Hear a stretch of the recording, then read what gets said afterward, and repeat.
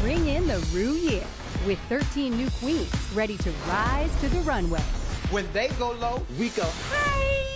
Congratulations. These queens will break the mold by spreading positivity and unity to become America's next drag superstar. Ain't nobody gonna snatch this away from me.